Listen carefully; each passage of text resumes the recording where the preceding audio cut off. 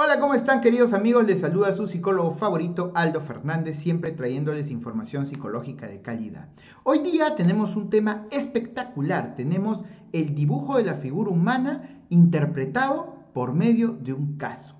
Este caso llegó a mí antes de la pandemia y me parece espectacular para que ustedes puedan aprender cómo se interpreta un dibujo de la figura humana y también para que ustedes puedan ver la ayuda que hace este test dentro del diagnóstico psicológico. No te olvides que dejando tus correo o tu correo en los comentarios de este video te vas a llevar un PPT sobre los indicadores por patología del test de la figura humana. Así que no te olvides de dejar y suscríbete al canal porque cada mil personas que se suscriban vamos a hacer un sorteo de un super regalo. Así que si quieres participar de este sorteo, suscríbete al canal, dale campanita para que sepas cuando pongo un nuevo video. Ok, entonces vamos al video, vamos a apretar aquí, es esto, y ahora esto.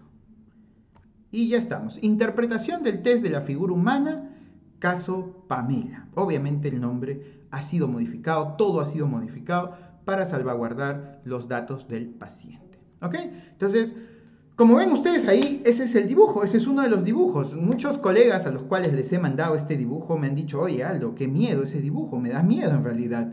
Pero no es eso, no es cuestión de dar miedo, es cuestión de interpretar. ¿Ok? Entonces vamos a hablar un poco acerca del caso primero.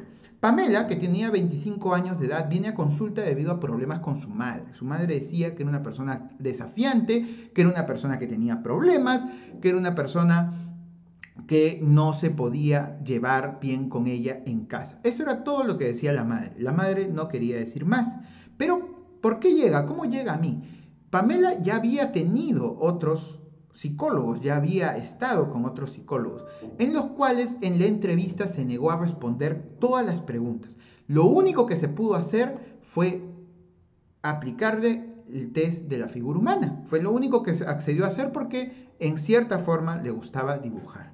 Entonces fue lo único que accedió a hacer y de ahí no quiso hacer más.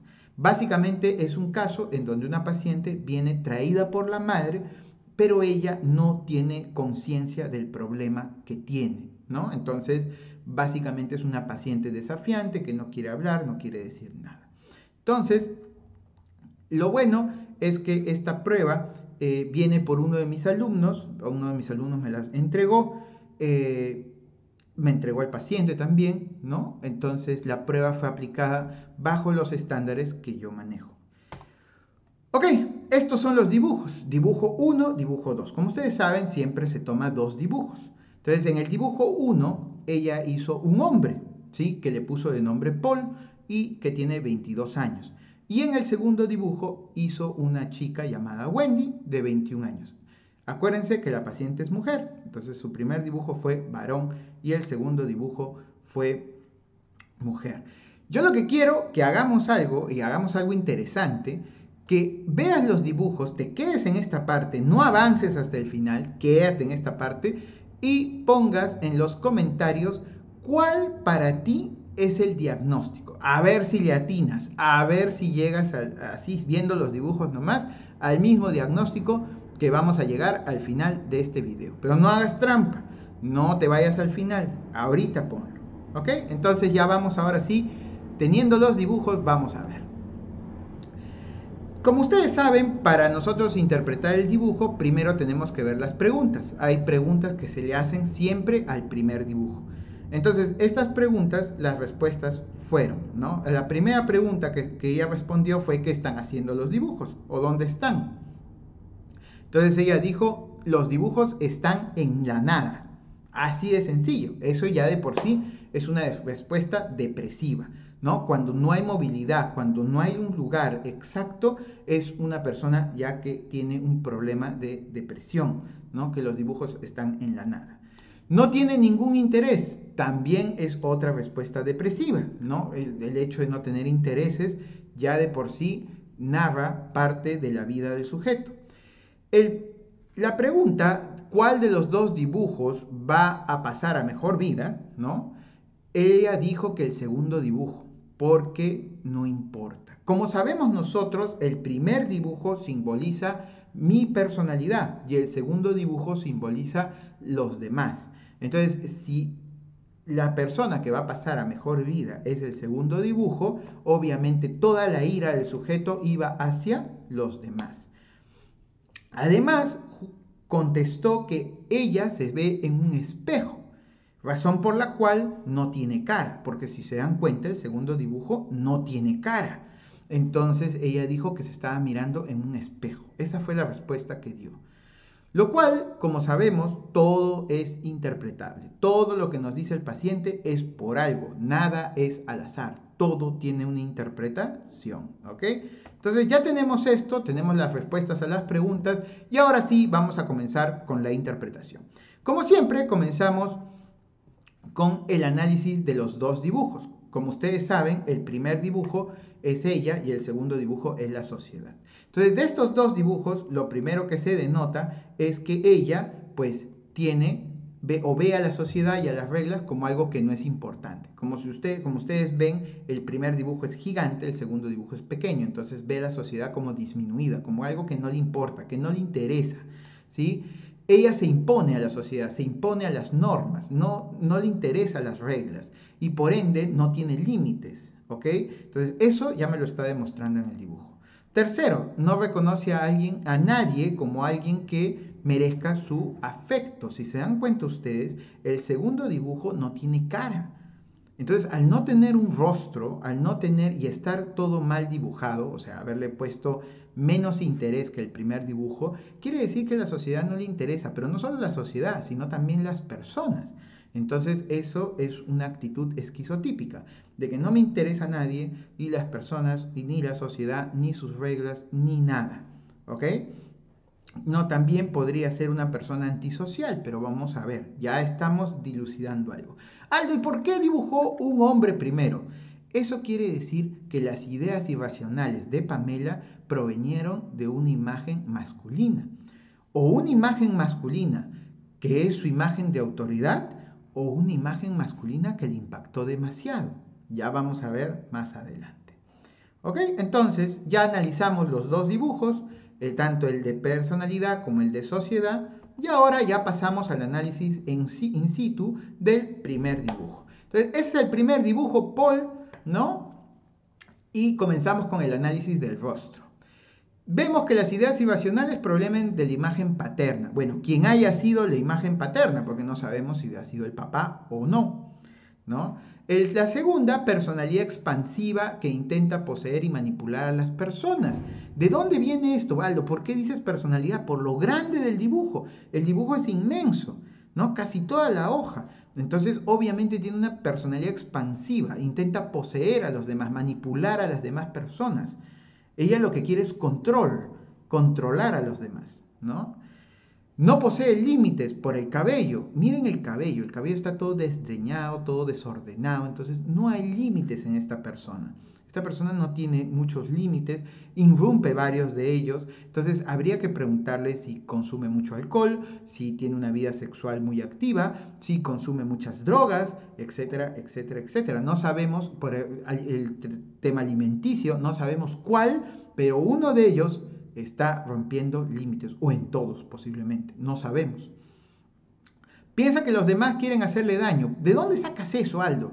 Por los ojos. Los ojos grandes y remarcados simbolizan que uno debe o piensa que los demás quieren hacerle daño, que los demás quieren o quieren lastimarlo. Entonces, es una persona que ella eh, no es que sea agresiva, ella está en su mente respondiendo a una agresión. ¿Se dan cuenta? Entonces ya sacamos esa conclusión.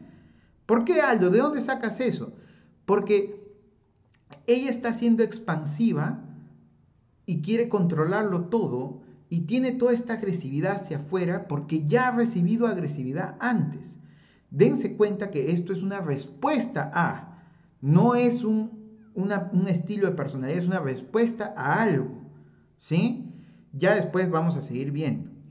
Tiene agresividad hacia la autoridad. ¿De dónde sacas esto? Eh, de los orificios de la nariz. Los orificios de la nariz me demuestran que es agresiva hacia la autoridad. Pero ¿por qué tanta agresividad? ¿Por qué tanta agresividad hacia la autoridad? ¿Por qué piensa que le quieren hacer daño? ¿Por qué responde con agresividad? ¿no? Tiene un poco de un componente paranoide ahí, pero ese componente paranoide habría que ver si es que viene de un trastorno ya eh, un poco más, eh, digámoslo así, complejo o ha sido creado por un pensamiento irracional o por un trauma. Habríamos que ver.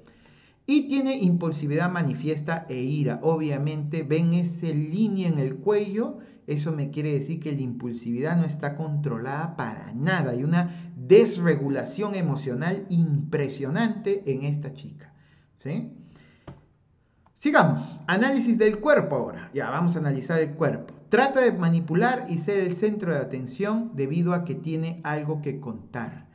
Eso lo vemos por los hombros. Los hombros grandes y ansiosos casi siempre es debido a que quieres llamar la atención, pero quieres llamar la atención por algo, por alguna razón. ¿Se dan cuenta? Ella manipula, ella controla, pero es por algo. Algo ha pasado allí. No es por gusto, no es un dibujo eh, digamos así, típico de una persona narcisista o hasta de un, de un psicópata. No es típico, es un dibujo bastante ansioso. Entonces, ella llama la atención porque en el fondo tiene miedo. ¿Miedo a qué? Eso es lo que tenemos que ver. Relaciones caóticas y cargadas de impulsividad. Miren las manos. Las manos tienen mucha agresividad. Pero esa agresividad puede ser una agresividad manifiesta por algo o puede ser en respuesta a algo. Entonces, si tú lo ves como respuesta a algo, te estás acercando. Tres eventos que han marcado su formación. ¿Cómo sabes eso, Aldo? ¿De dónde sacas eso? Ve su pantalón. Ve el pantalón del chico. Hay tres grandes orificios en el pantalón. Que supongo que ha querido hacer los jeans rasgados que utilizan mucho las personas y demás. Pero esos tres orificios, esas tres marcas ya me están indicando que ha habido tres eventos en su formación, en su vida, que la han marcado, tres traumas. Entonces yo tengo que preguntar por esos tres. Posible desestructuración de la realidad. ¿Por qué? Si se dan cuenta, bueno, no sé si mi cara los deja ver, pero el dibujo, vamos a ponerlo, vamos a llevarlo acá, ahí está, mejor ahí. El dibujo no termina con los pies. Ella no dibuja los pies. Entonces, eso es un alejamiento total de la realidad.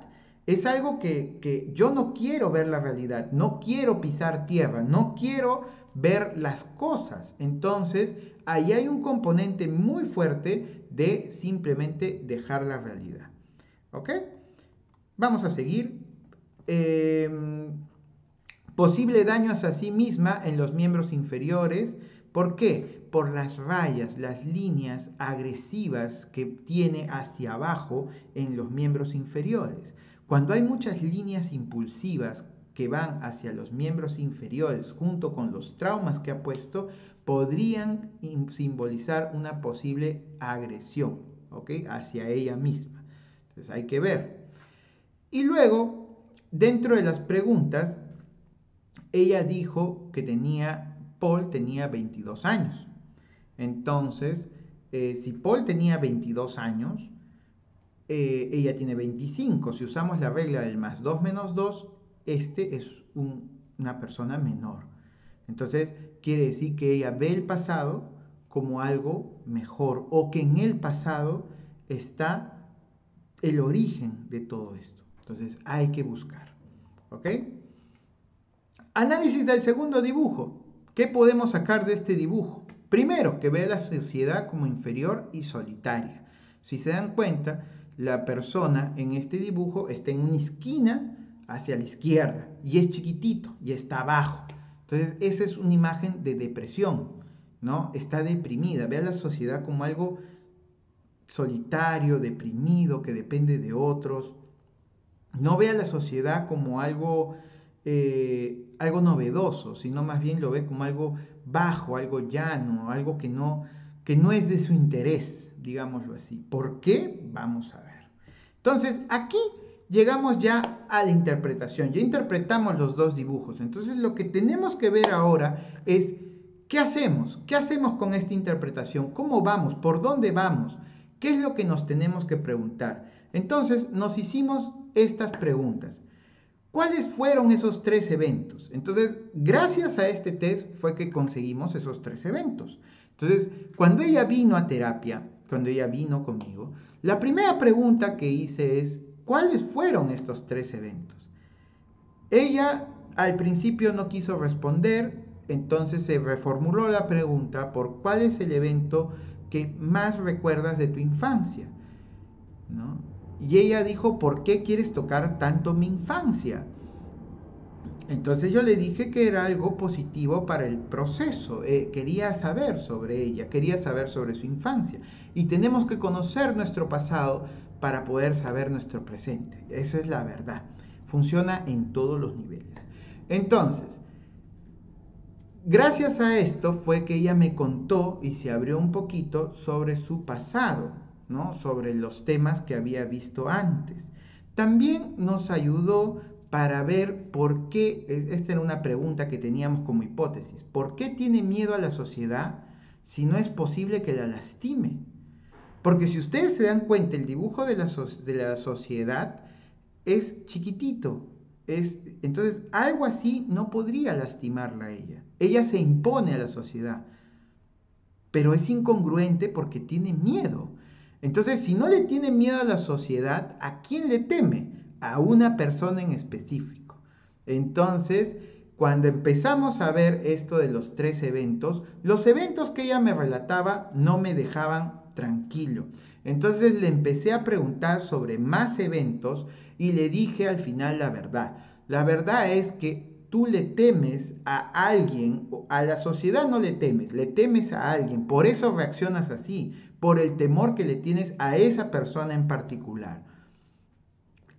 Ahí fue cuando ella empezó ya a soltarse un poco más, Em, empezó a confiar un poco más porque me dijo de dónde ha sacado eso o cómo lo ha sacado. Entonces, bueno, somos psicólogos, ¿no? Entonces, para eso es nuestra chamba. Eso es lo que tenemos que hacer. Entonces, ella se empezó a soltar un poco más y confirmó que habían eventos con una persona en específico de su familia que había tenido ciertos temas de tocamientos con ella.